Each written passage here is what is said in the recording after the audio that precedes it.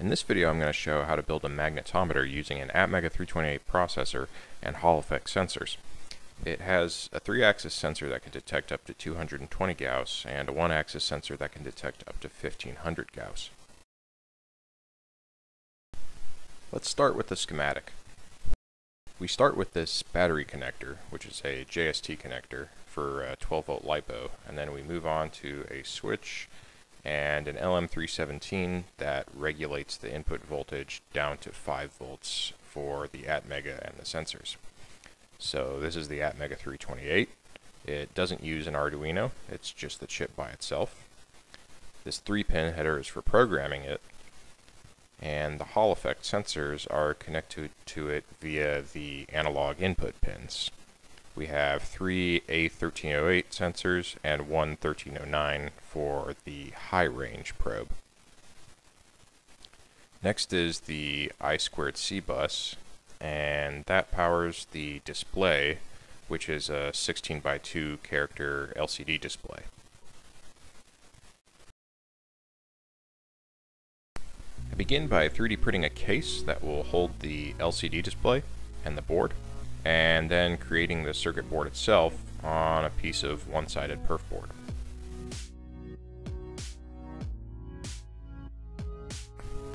This is the 16 by 2 character LCD display, and it has an I2C adapter, so you only need four pins to connect it. Looks like it powers up without a problem. And here are the Hall effect sensors I'm going to use to make the 3-axis probe.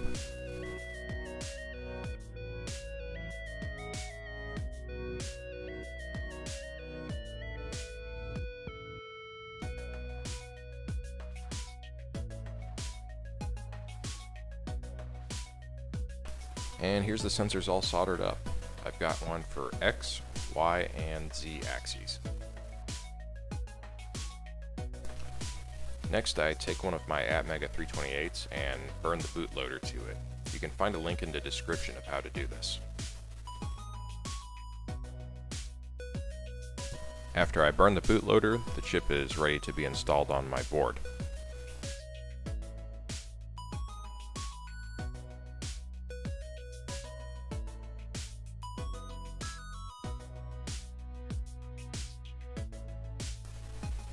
Now I'm ready to put everything in the case. I install the screen first, and then I have to install the four wires that deliver power to the screen and the serial data and serial clock lines for the I2C bus.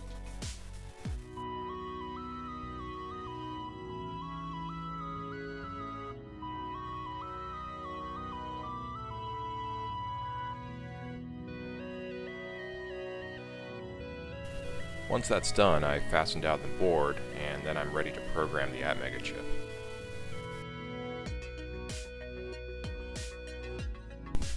Next, I start coding.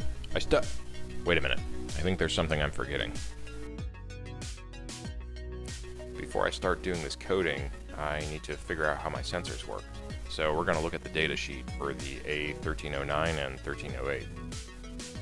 A Hall effect sensor is going to put out a voltage based on how strong the magnetic field it sees.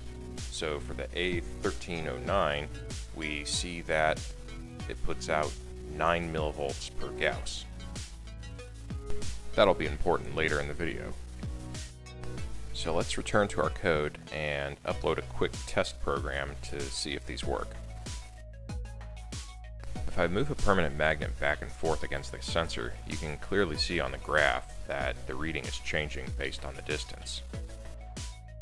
Now I've changed my program to send those numbers directly to the LCD display.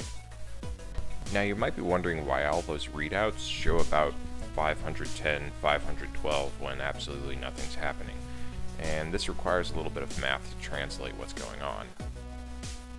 An Atmega 328 uses a 10-bit analog to digital converter, meaning it looks at a voltage between 0 and 5 volts and converts it to a value between 0 and 1024.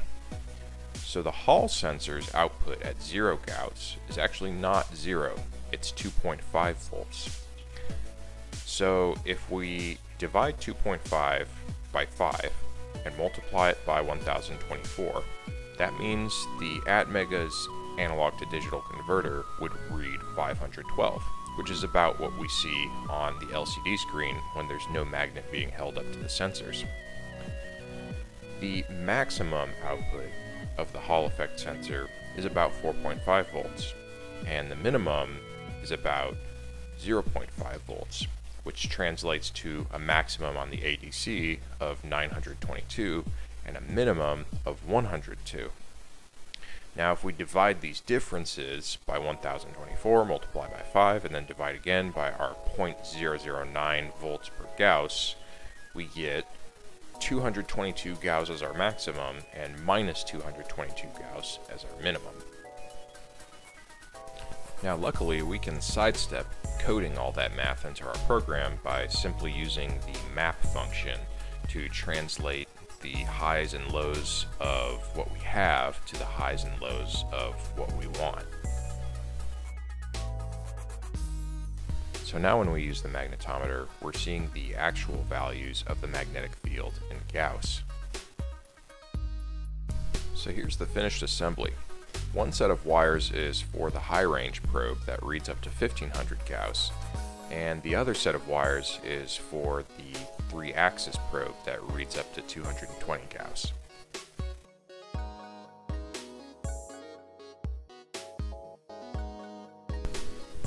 So let's start by testing it on this ceramic ring magnet that I took out of a magnetron.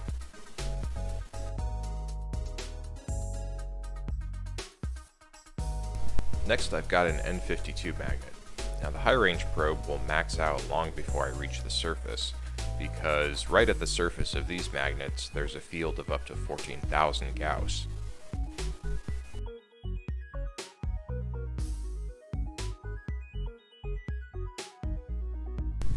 But if I turn my probe to the side and position it just right, you'll see that the magnetic field goes to almost zero.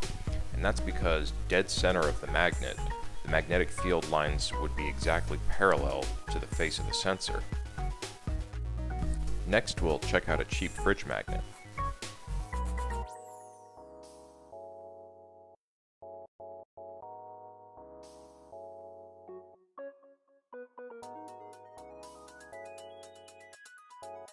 I found that the 220 Gauss limit was really restrictive for the 3-axis probe, so I had to limit it to much weaker magnets so that I didn't max it out.